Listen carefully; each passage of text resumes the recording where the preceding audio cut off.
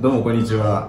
両松本と申します、えー今日なんですけども、えーファッションスナップさんとのですねコラボ企画が、えーお話いただきまして実現ということでえっ、と3回にわたって、えっと1993年生まれという縛りで、まあ、ファッション業界に今活躍している実際のプレイヤーの方々3人をお呼びして連載企画という形で、まあ、今何を考えてるかとかなんで今の職業をしてあに行き着いたかとかなんかいろいろこう生い立ち的なところからいろいろお話をお伺いしつつ、まあ、対談っていうとちょっと堅苦しいんですけどもなんか今のリアルの1993年今年26歳のくくりで、まあ、僕もそうなんですけどお話を伺いたいと思っています。で今回は、えー、と第2回になるんですけども、えー初回の、えー T のデザイナーの玉田さんに引き続きですねカンナミスの、えーカリスマ店員の ひまわりさんにお越しいただきます。どうぞ。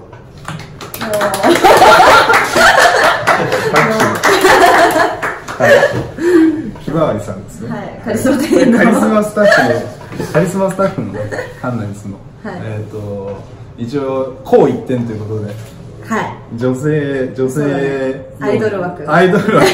本当にアイドル枠。でまあいろいろね。今にお話お伺いしようと思うんですけど。はい。ビジュアルがね。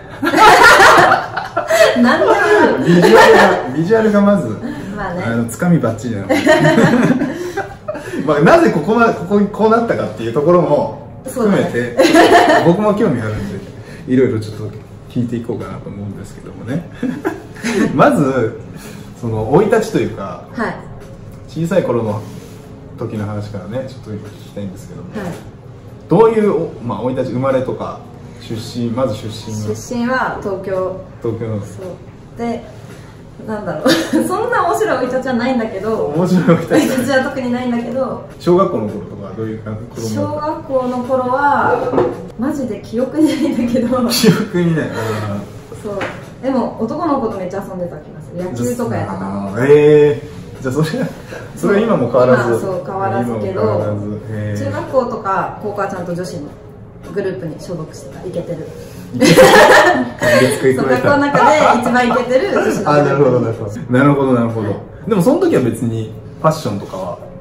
プそう割とギャルだったギャル？あ 今の感じじとは真逆の。ギャル育ちみたいな。そう。それが中中学とかは？中学もギャル？ギャル。だった。でえ大学は？大学は日芸行ってて普通に4大普通に卒業して就活でカンナビス入った感じのなんか珍しいタイプ、ねだからその大学の時は何を勉強と空間デザイン。空間デザイン。建築学んでて。それはなんでなんで空間えなんか建築デザイン？そうデザイン学科でなんかなん何？グラフィック？なんかグラフィックデザインとか商業デザインとか空間デザインがあってなんかコース分けの時になんか大は小を兼ねるかなみたいな理由で空間デザインやって一応学部中賞を取ってる。エリート？そう。それ知らなかった。エリートなんだ。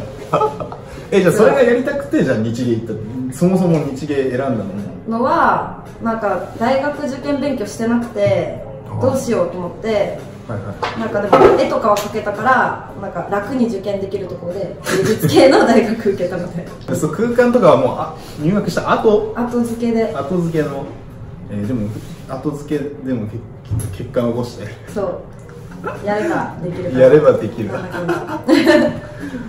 ででででそうなんで。ななんでそうそこまでファッションの話も全然出てじそうこない。話の話もないな本当に。学生の時も全然そうまだ大学まで本当に全然ゴリゴリ金髪でギャル。ギャルだギャル度だ本当に十何センチのヒールで毎日学校行ってたから。から今のスタイルとはもう全然違う。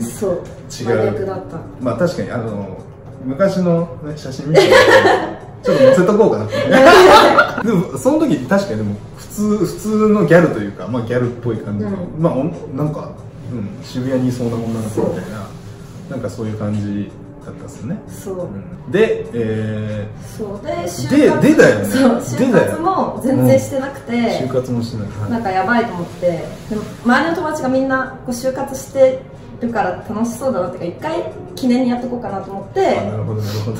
友達が受けたところがもともとね今のカンナビスのあ親会社のシュペーってところでなんか受けに行くけど行くみたいに言われて「あ行くわ」って言ってその時の なんか面接長みたいなのがうん。もともとカンナビスを作った人。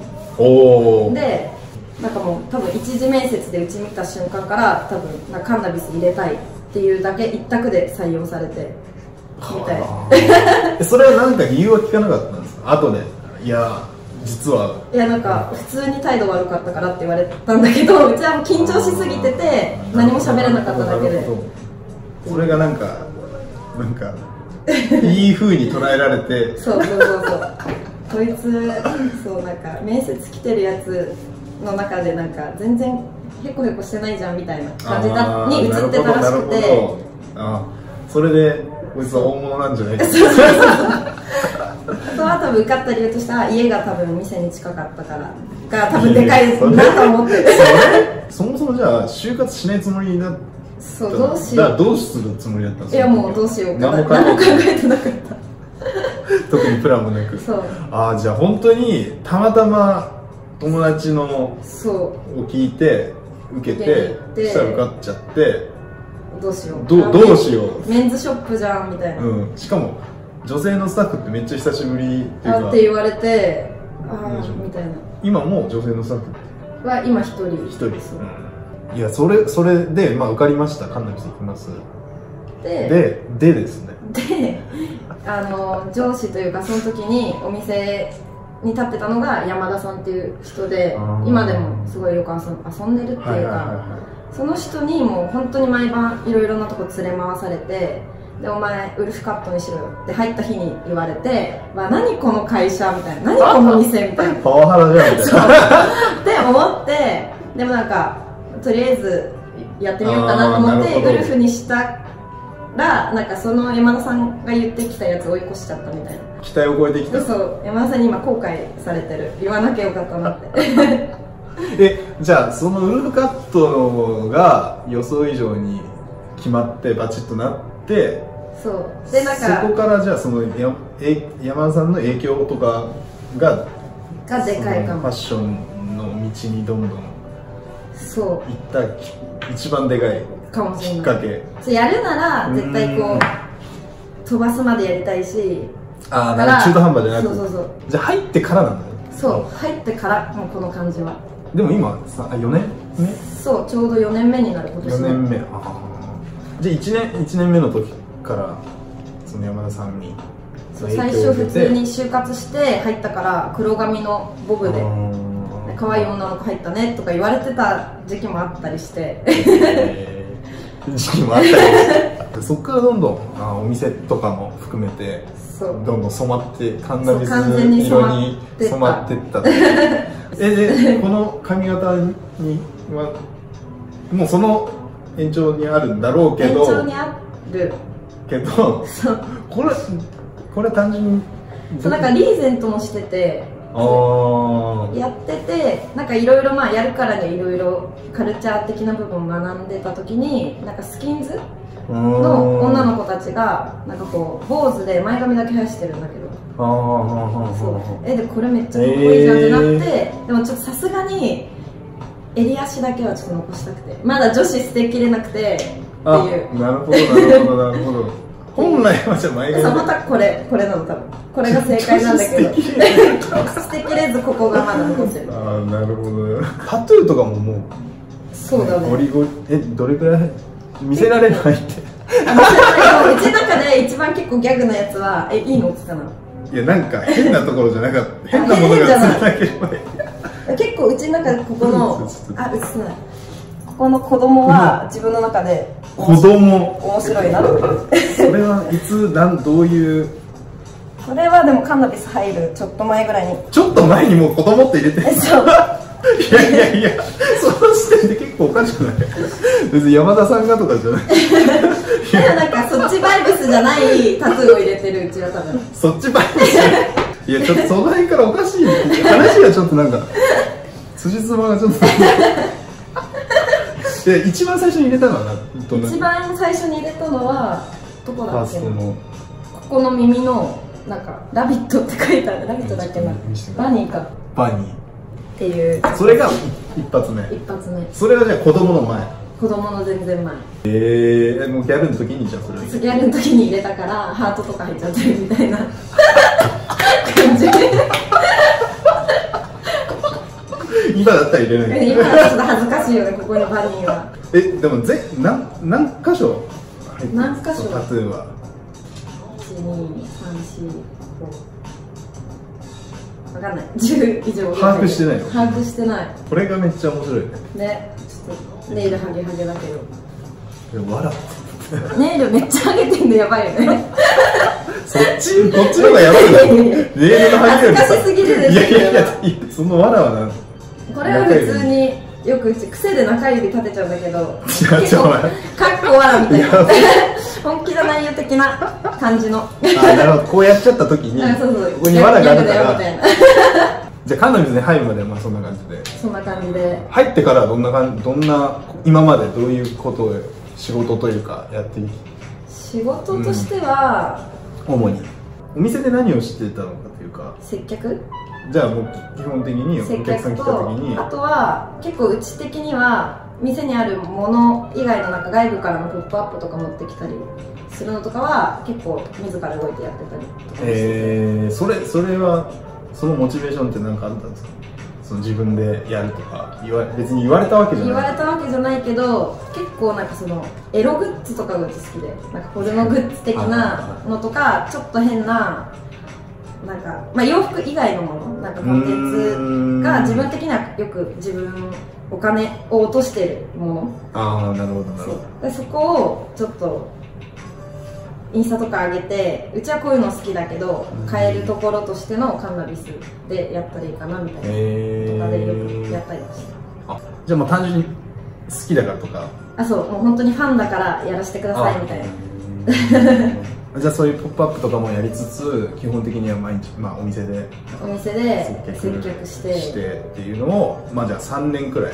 3年やって最近ようやくもう上の人がもうん、組織的にちょっと変わって。う変わって今なんか新体制で若い3人でやっていきましょうってなっててちょっと変わってきた感じ。えようやく自覚持って働いてる感じ。のーなるほどなるほど。責任が出てきて。そうそうえその接客は自分的にはどう？好きとか？あ好き。得意とか？得意で好きで、えー。基本人と喋るのはめっちゃ好きだから。もう全然。そう。それの延長線上みたいな。うんなんか意識してることあるんですか？その接客とかしてると。まあ接客も含め仕事。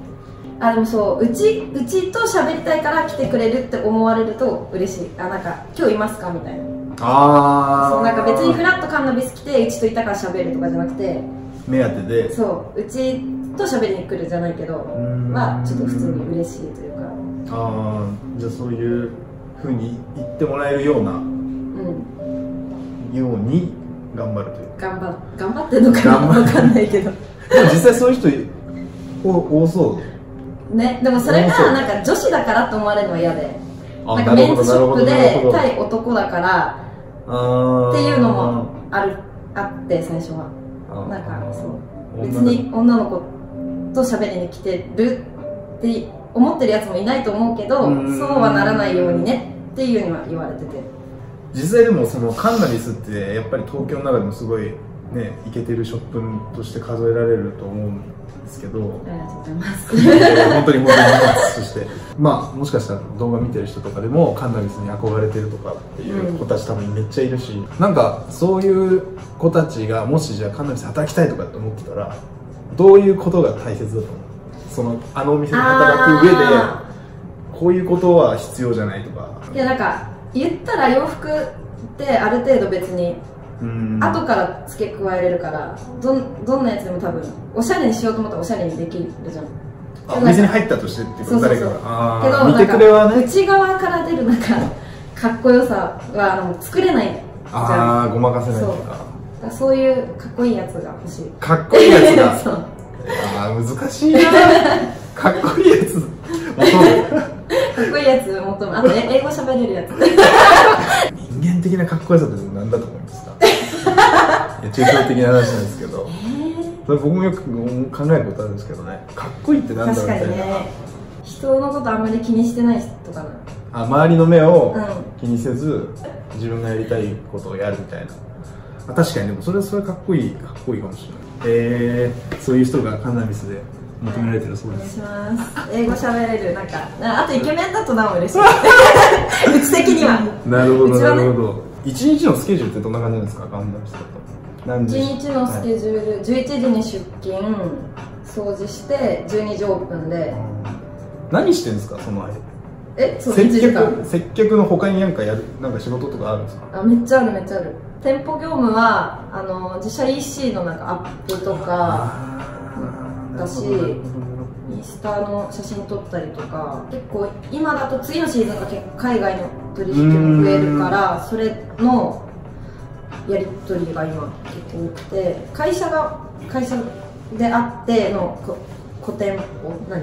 店舗だからそれ会社にあげるためのいろいろ会社とのやり取りみたいなやつとか。報告のそう。なんかとかね、まあ、結構いや僕もわかるんですけど地味な仕事多いよ。あそう。パソコンに向かってる間がすごい多くて嫌だなとは思う。でその来期からなんかバインもやると、はいえーやっていくっていうこれから、まあ、そういうような体制になったって言ってたんですけどその服を見る上でうん。どこを見てるのかとか服とか、まあ、ブランドとかどういうところを見てさバイングするなりセレクトするなりしてるのかなんかそういった基準から 基準というかどういうところで基準はも一番う見るか。カンナビス。っのぽいかないか。お店に合うかどうかそれが一番。一番かな。カンナビスの世界観はあのままで崩したくなくてまあ時代の流れもあるけどあの状態のお店でを保ちたいというか新しいの入れるとしてもカンナビスっぽいなを入れたいというのはあるけどどうだろう。えー、でもそれも結構難しくないですか？で時代は変わるけど、そうでもカンナビス難っていうお店としての、ね、スタンスというかポジションは変えない。変えででも中身はどんどん変えなきゃいけないみたいな、うん。どういうのがカンナビス？そうひまわりさんが考えるカンナビスこれカンナビスっぽいとか。うん。なんかそういうのって、まあ、なかなか言葉にできないあでもなんかかもしれないけど。テーラードだったりロンドンロンドンのそういうパンツとかモッツとかのイメージのままの今のちょっとうん。セットアップ着てますとかをずっとやっていきたいなとは思ってああなるほどなるほど。でも客観的にカンナビスってどういうお店だと思うんですか？自分で。なんか東京ってめちゃくちゃいろんなお店あって。黒いダークな感じかあなわダークな感じ、まあ、アングアングラな感じ。うん。うん。いやクソ入りにくいよね多分あそこの店。わかるめっちゃ。でその入りにくいってことに関してはどう？うちはそれでいいと思ってあ入りにくくて。うん。いいってそう。入りたい店行きたかったら別に館行けばいいし。うーん。わざわざ来てもらってるんだったらそこの扉開けてまで入ってほしいみたいな。のはあるけど。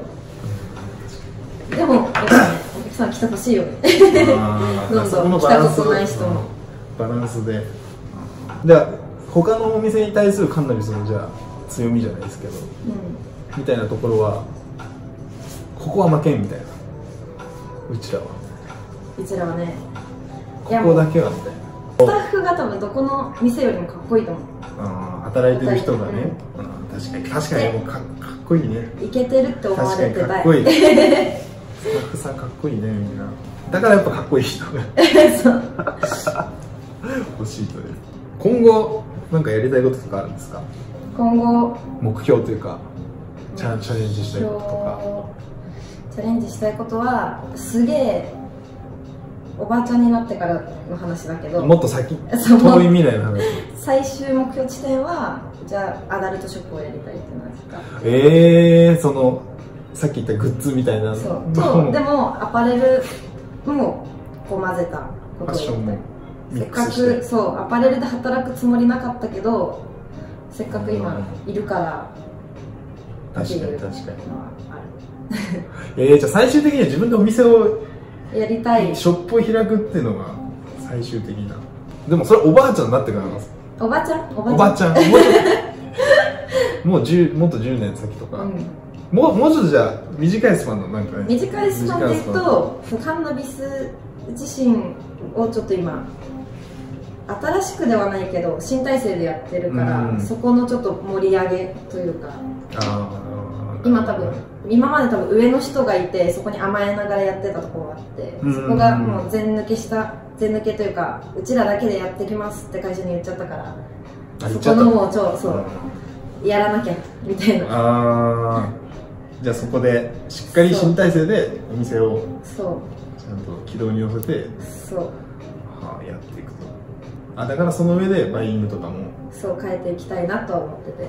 どうですか？バイイング楽しいですか？楽しい。結構バイヤーになりたいとかいう人いっぱいいると思うんですけど何が楽しいですか？一番。まだでも自分がこう入れたいって言って入れてこう売れた感触はまだこう今までだとアイテムだけとかワンアイテムでこれ入れたいですって言って入れたものが売れてるか売れてないかだけどもう多分次からは全それが店全部として見られるからどうだろう。なんか自分がこれやりたいですって言って自分が着たものがめっちゃ売れてるのはすごい嬉しい。は嬉しい。まあそうね、うん、そこが一番確かにバイヤーとしては、うん、バイヤーのやりがいで。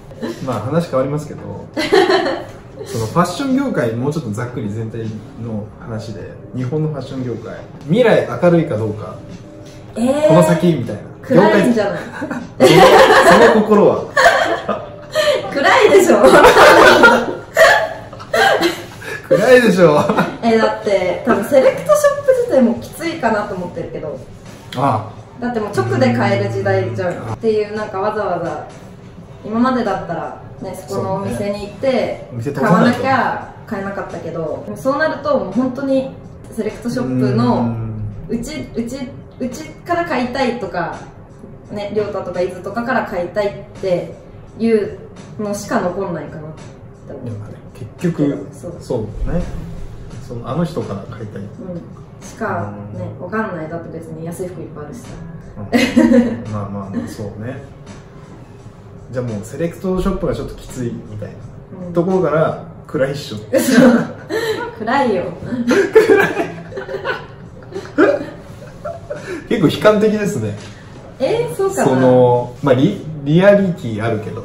じゃあ逆にそのこれからファッション業界に入りたいとかっていう思ってる人とか、服好きでとかっていう人、うん、まあ、若い人たちがだって仮に今までその入りたいんですけどとかって相談してきた時に、うん、どういう言葉を？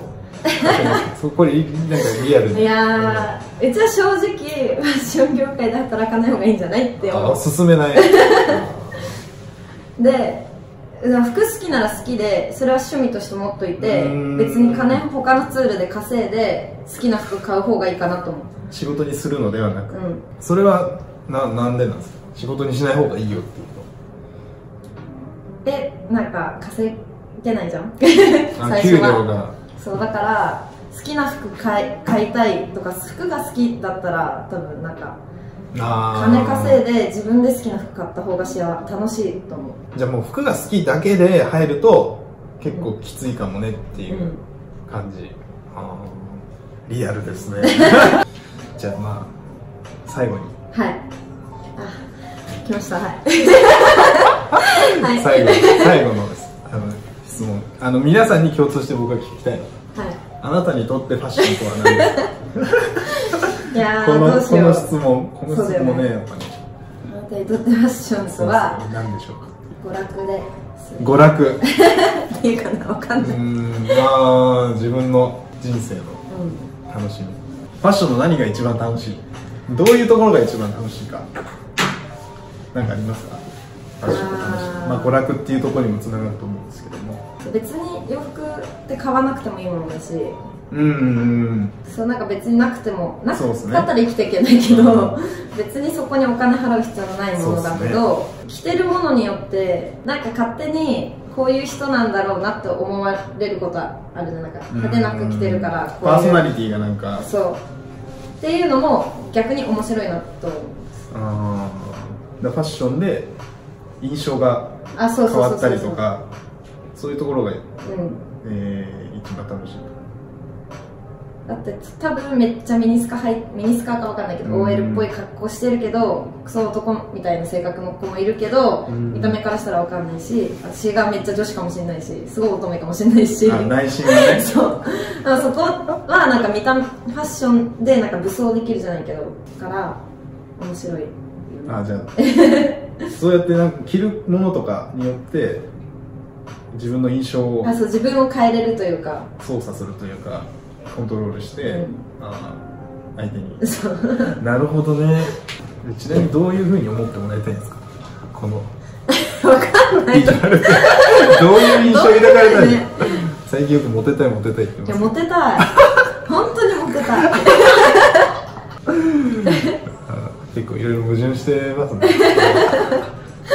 そうだよね。それで言うとモテるための武装しろよっていう話。でもそれはしたくない。したくない。モテたいけどでも何だか分かるじゃないですかこういう感じした方が男の子受けはいいとかわかる。モテするとかそういうの分かった上でそれに歯向かっていく。そう天の弱なのかねこの感じでモテたい。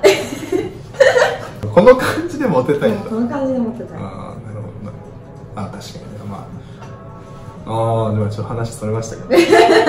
そういうところが一番楽しい？ファッションだそう。あーはいじゃあそんな感じでね、はい。あー結構いろいろ僕はヒントになることがあったんじゃないかなと思いますよ。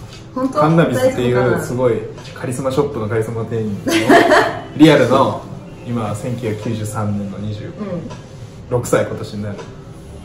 人が何を考えてどう生きてこれから何をしたいのか何よりリアリティがあって すごい楽しかったです僕。本当ですか、はい。ありがとうございました。怖い店じゃないから遊びに来てください。あそうそうですね。これきっかけに「ひまわりさん」って。はい声かけてください。ひまわりさん。確か